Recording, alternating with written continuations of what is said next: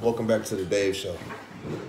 Uh, if you haven't, please like and subscribe to my channel. It would be greatly appreciated. But today I'm just going to do my Xbox One game collection because I haven't done a video for that yet. So,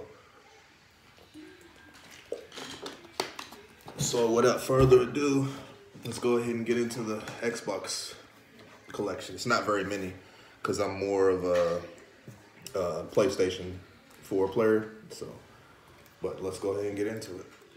So first we have Gears of War Ultimate Edition.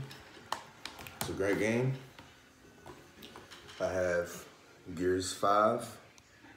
This is a pretty good game. Pretty good game as well. I actually like Gears of War 4 better. I feel like I had more content, but still a great game. Uh, next up, we have Borderlands 3.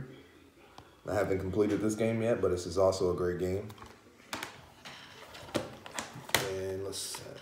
Next up, we got NBA 2K20 with Anthony Davis on the cover. And we have NBA 2K21 with Dame Damian Lillard on the cover. And that's going to do it for the Xbox uh, collection. Thank you for coming for another one. See you in the next one.